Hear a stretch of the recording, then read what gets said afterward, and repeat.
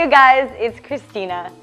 I am so excited about this video today because we are gonna be making, are you ready? Pumpkin pie. so I have festively decorated myself in my awesome pumpkin pie costume so we can make this delicious, super sweet, super easy, super fast, and low fat recipe, fully raw, just for you. Hope you're excited because this is one of my favorite recipes for the holidays that you can share with family and friends to get them to eat a healthy type of pie. And I will just tell you that when I said this to my mother the other day, her mouth dropped open and she said, don't tell your grandmother this is better than hers. so I'm really excited to share this recipe with you. Here are the ingredients that you're gonna need. You will need about two to three cups of raw sugar pie pumpkins. And these are a little bit different because they're baby pumpkins that are a little bit sweeter and they're edible. And you can find these organic at Rawfully Organic. Three pounds of dates.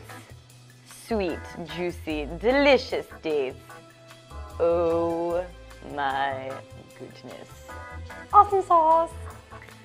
You will also need cinnamon, ginger. You can use a dried spice or you can use a pinky of the fresh ginger one and a half to two cups of pecans, and one ooey gooey ripe persimmon. I don't know if you can see how ripe this persimmon is, but literally it looks like it's about to pop in my hand, and when I touch it, it's soft on the side. This is when a persimmon is truly ripe. Otherwise, it will get pungent in your mouth and it won't taste good. And one vanilla bean. You don't need the whole thing, but just a little scrape of it will do the trick. Dun dun dun dun! So get your pie pans ready and let's get ready to make some magical hocus pocus pumpkin pie. This pie is so easy that it literally just takes two steps to make. Our first step is that we're gonna make the crust, and our crust is gonna be made out of our pecan nuts and also our dates. So I have about a pound of dates and a cup and a half of pecan nuts. And all we're gonna do is we're gonna put them in the food processor and we are going to process them just enough until they get into like a crusty, creamy, really delicious and ooey gooey pie crust mix. Are you ready? Let's make it. You'll notice here that I'm pulsing it because this tends to make it a little bit less gooey and you'll get stuck to the sides a little bit less when you're making it. And if you want to spice it up a little bit, you can just take a little pinch of cinnamon and you can add it into your crust. Are you ready? It smells like dates and cinnamon and ooey gooey deliciousness. And if you look at this, this crust, it looks just like a pie crust, just like that. Beautiful, look at that. To make the pie crust, what you're gonna first do is you're gonna take out the blade from your food processor, because that can be dangerous. And you're going to take your crust and you're gonna kind of just put it into your pie pan, just like this. And that way, we can start pushing it in and forming it to our pie pan.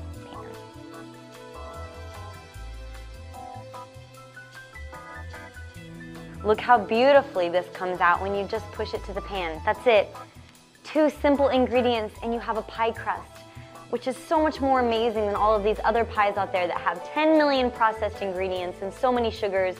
This is low fat, it is fully raw and so good for you. And it's the best pie crust ever. That's it, I'm patenting it. It's my fully raw pie crust. Next up is we are gonna make the pumpkin pie filling. So what you're gonna do is you're gonna take your freshly cut pumpkin, your pie pumpkin. By the way, these are so deliciously sweet. Just wanna say that. You're gonna put those in. You're gonna put in your dates, and guess what? You don't have to put in all of these. But if you want it to be super sweet and creamy, I recommend putting in as many as you wish. So I'm gonna put in them all because they are gonna make mine super creamy and delicious and sweet. You're going to put in your super ripe persimmon. So I'm going to take out the stem, just like this. Oh, gooey deliciousness. I don't think anybody saw that. And then we're just gonna smush it on in, just like that.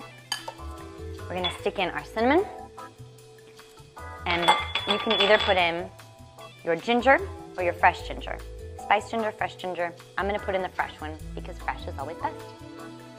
And when you're ready, We're gonna pulse it and we're gonna blend it until it gets super creamy because it gets really thick and it looks just like pumpkin pie filling.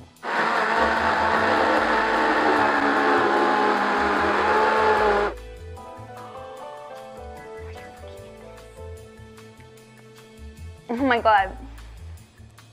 It tastes so good. Do you see this?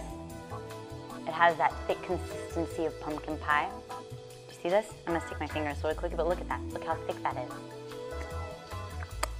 Mmm. Oh god. Mm-hmm. And for any of you guys who are asking, I give you permission to eat this whole pie yourself because guess what? It is filled with simple carbs that will keep you fueled through the day. And you know, there's like no fat in this. This is so good. This is so good. So when you're ready, you're gonna take your filling and you're gonna pour it into your pie pan. Oh my good lord. The witch's recipe is a brewing. Do you see how creamy and delicious this looks? Oh my goodness. Swirl it on in, just like that. Smooth, creamy, delicious. Don't forget to lick the blender and the spoon. So that's it. We have just made our fully raw pumpkin pie. So delicious, so fast, two really easy steps. And I will tell you that you can eat it just like this if you want, or you can go ahead and stick it in the freezer and firm it up a little bit so that you can serve it while it's chilled. I personally like it both ways, but I will tell you that when you eat it when it's room temperature, it gets ooey and gooey and mushy all over your plate. But for this one, let's go ahead and throw it in the freezer so that we can wait a little bit and then we can eat it when it's chilled together. So we've chilled our pie for just about two or three hours. And now I've taken it and I've cut out a gorgeous slice right here. Are you ready for the final taste touch? Let's go.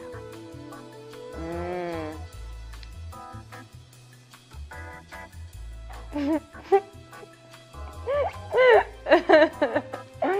it is so good I want to cry. I'm just kidding.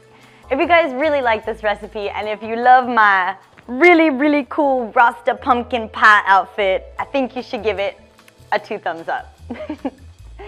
I've had the best time making this recipe for you and I've had an even better time making this video, so I thank you all for watching.